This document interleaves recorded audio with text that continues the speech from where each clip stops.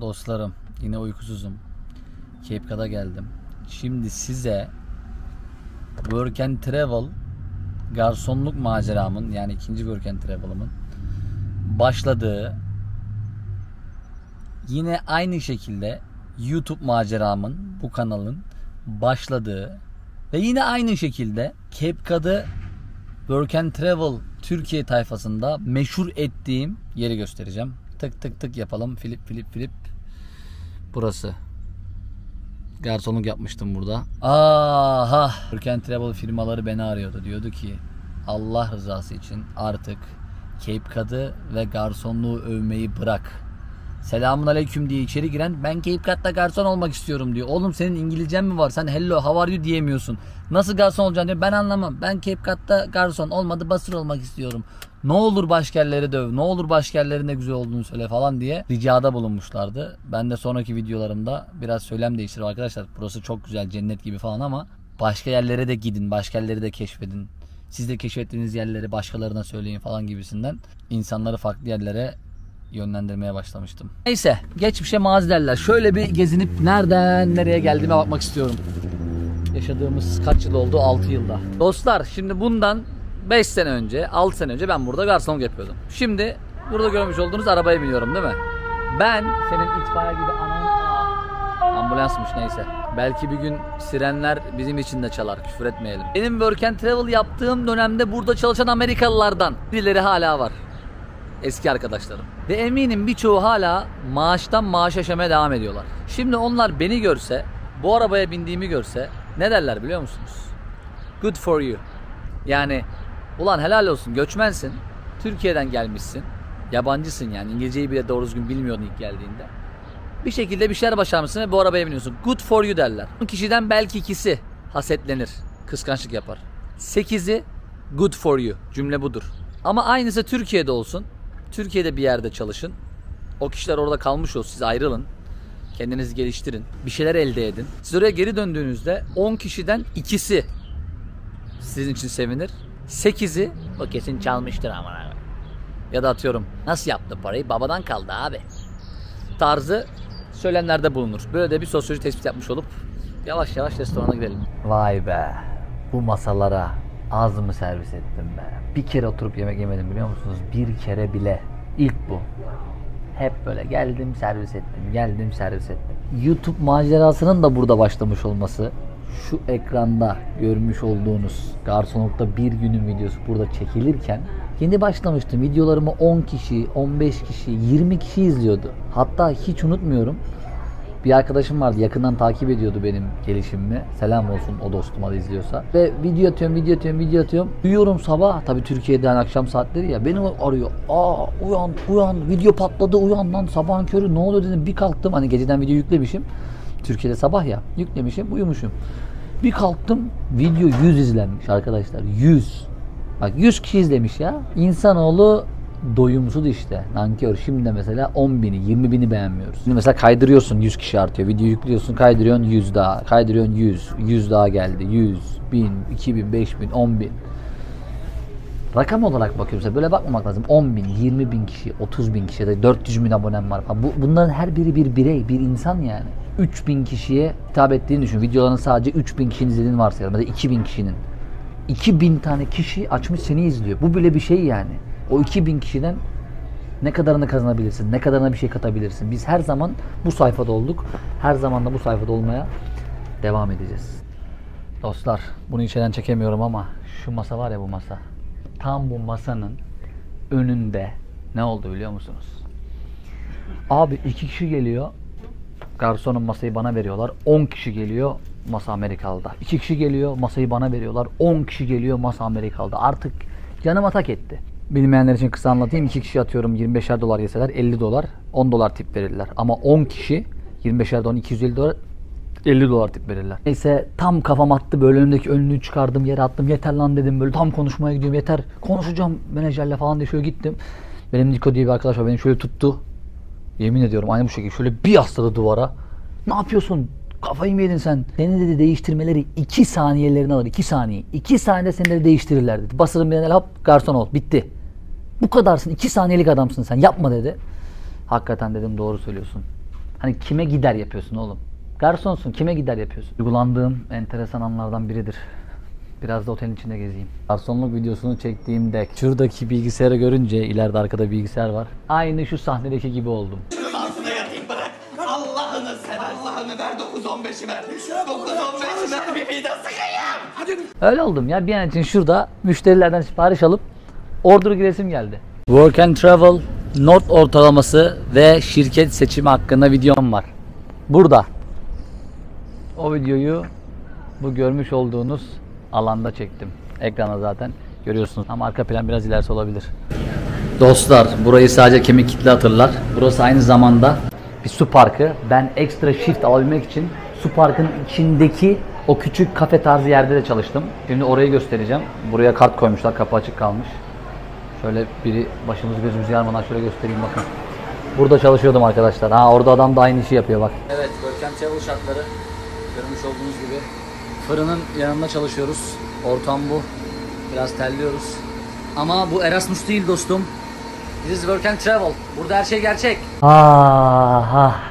Geçmiş zaman olur ki ulan var ya keşke şu an duygularımı hissedebilseniz. Sadece kemik kitle hissediyor. 2017'de bu videoyu izleyenler hissediyor sadece. Hayata dair en sevdiğim sözlerden biri Arnold'un bu sözü dostlar. Hani dedim ya burada hala çalışanlar var. Gördüm birkaç tanesini. Selam selam yok selam vermedim ama hala aynı şekildeler. Aynı işte çalışıyorlar. Benim için hayat belli başlı periyotlarla basamak çıkmaktır arkadaşlar. Seviye atlamaktır. Dünden daha iyi olmaktır. Bakın burada görmüş olduğunuz kart. Bu kart ne abi? Housekeeper kartı. Ben 2016'da ilk geldiğimde İngilizcem olmadığı için bu işi yaptım. Ama 17'de buraya garson olarak geldiğimde buradan böyle yürürken iyi ki bu işi yapmıyorum dedim. Çünkü İngilizce öğrenmiştim ve İngilizcemi kullanarak biraz daha housekeeping'e göre biraz daha prestijli ve parası biraz daha iyi olan bir işe geçmiştim. Çekindiğim şeylerden biri ne biliyor musunuz dostlarım? Şu anda görüyorum ama kendisini size çekmek istemiyorum. 6 sene önce de yaşlı kadın burada çalışıyordu. 6 sene geçmiş hala da burada çalışıyor. Yani 70-75 yaşına gelip hala da otelde çalışıyorsan, en alt kademe işleri yapıyorsan bunu yüksek ihtimalle para ihtiyacın olduğu için yapıyorsundur. Geçinemediğin için. Çünkü Amerika'da biliyorsun emeklilik Türkiye'deki gibi değil. Bu en büyük korkularımdan biri. Şimdi bende depo varken şoförler kitap getiriyordu ya böyle. Kitaplar geliyor. Kişilik iş normalde. Bir kişi yukarıdan palet jackle böyle basacak kitaba. Ben de forkliftle girip alacağım. Ama ben tektim o gün depoda. Yaşlı bir tane adam yine 65 belki 70 yaşlarında bilmiyorum. Geldi kapıyı açtı. Forklift'li iki tanesini aldım işte giriştekileri. Sonra dedim şunları dedim bana palet çekle getirir misin dedim. Adam böyle bozuldu hani adamın yapmak zorunda olmadığı bir şey tabii ki ama yapmazsa da onları alamayacağım. Adam gidemeyecek oradan yani o da para kazanamayacak. Adam palet çeke bastı böyle bir tane verdi. Palet çek de aşırı sıkıntılı. İkinciye geldi ikinciye böyle basıyor. Kitabı işte kaldıracak forkliftin ucuna getirecek. İkinciye basarken palet kırıldı. Çat diye yere düştü. Adam basıyor basıyor çıkmıyor. Basıyor basıyor çıkmıyor. Adam bir çıldırdı. Yemin ediyorum adamın gözünde var ya çaresizliği gördüm. I don't wanna do this job. I don't wanna do this job. İşte bu işi yapmak istemiyorum. Bu işi yapmak istemiyorum. Lanet olsun lanet olsun diye böyle. Saati belki 15 dolar 16 dolara çaresizliği gördüm ya. Bu en büyük çekincelerimden biri yani. Bir de arkadaşlar şey var mesela yeni işimde buraya getirdiğim yaşlılar. Karı koca çift kruza çıkıyorlar. 7 günlük. Bunu elemiş, eleğini asmış geziyor. Güzel bir yaşlılık. Ama biz ne istiyoruz? Ne yaşlanınca çalışmak, ne sadece yaşlandığımızda gezebilmek. Biz bu refaha 30'lu yaşlarımızda ulaşmak istiyoruz. Asla pes etme. Bakın böyle bir araba almak benim için burada gerçekten bir başarı değil. Ama buradaki Amerikalılar için var ya, arabaya binenler var ya Uber'de falan. How can you afford this? How do you buy this? Çünkü insanlar Türkiye'den zannediyor ki orada arabalar ucuz. Zaten herkes 70 bin dolarlık 100 bin dolarlık arabalara biniyor. Öyle bir şey yok arkadaşlar. Bakın. Parking lot'tayım. Şu arkamdaki arabalara bakın. 10 bin dolar. 10 bin dolar. Belki 15 bin dolar. Gelin. Arabaya bakın. Bir de burası bir otelin parkı. Bakın şöyle göstereyim. Burada kaç tane Mercedes, BMW, Audi 2020, 21, 22 araba görüyorsunuz? Hep eski SUV'ler. Şöyle karşıyı da göstereyim bakın. Bakın yoldan geçenlere de bakın. Sıradan arabalara bakın şöyle. Şu araba güzelmiş ha yalan yok. Bak arabaya bak. Karşıdaki arabalara bakın bak bak bak. Bak böyle traklar falan var bak. Ha şeyin de tabii ki etkisi var. Amerika'da insanların böyle çok lükse düşkünlüğü, işte son model iPhone alayım, son model telefon alayım falan. O mod da çok yok ama bu arabalara da önüne gelen binemiyor. Onu da söyleyeyim. Ama ben bir başarı olarak görmüyorum. Yine de şöyle bir baktığımda housekeeper Oğuzhan'dan, garson Oğuzhan'dan maddi manevi çok çok çok çok daha ilerilere geldiğimi düşünüyorum. Madem videonun başlığını pes etme koyduk. Pes etme noktasına geldiğim housekeeperken şöyle bir anım olmuştu dostlar. Kadın geldi ırkçı bir karı vardı. Şimdilerde hapse girmiş Facebook'tan gördüm. Bana bağırıyor çağırıyor bağırıyor çağırıyor falan. Lan de derdimi anlatacağım. Hani yanlış anlaşıldım. Onu diyorum yok. Menajer çağırdı. Menajer yok. Hani abicim yok lan çıkmıyor ağzımdan kelime. Yani Türkçesini düşünüyorum. İngilizce böyle çeviremiyorum. Kafayı yedim. Kadın en son dedi ki çık dışarı bir daha seni gözüm görmesin dedi. Bu konuyla ilgili bir daha bana gelme diye. Dışarı çıktım. Arkaya böyle dolandım. Aynı şöyle bir yere oturdum. South Dakota'ydım o zaman ama şöyle bir yere oturdum abi. Hüngür hüngür ağladım.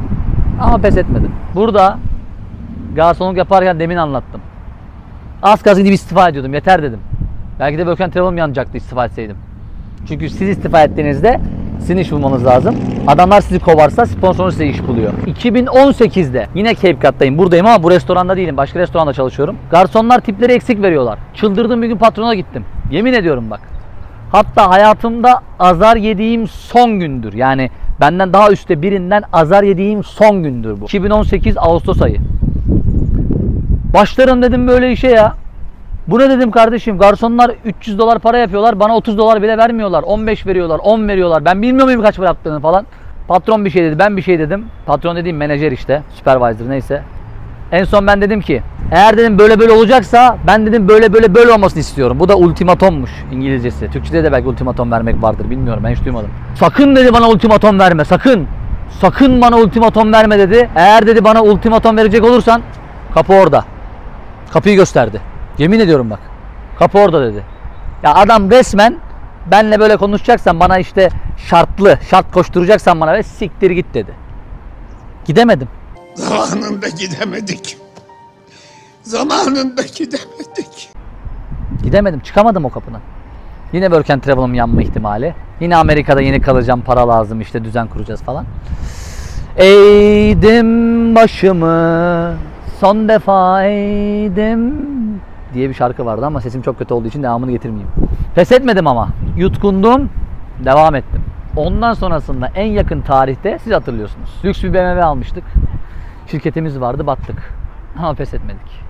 Yine lüks bir Mercedes aldık bu sefer. Bir de bunun tadına bakalım. Yine şirket kurduk. Yine devam ediyoruz.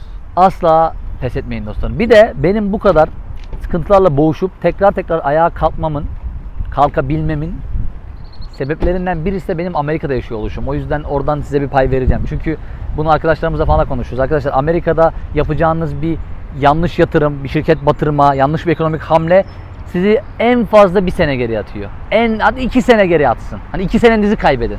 İki senede toparlıyorsunuz. Ki ben toparladım gördünüz yani. Ama Türkiye'de öyle değil. O yüzden oradakilere böyle martabal okumayacağım. Yine de tarih pes edenler yazmaz dostlarım.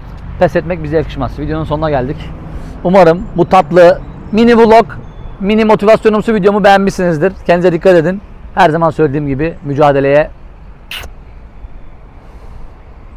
devam. Eski günlerim aklıma geldi yine. Devam.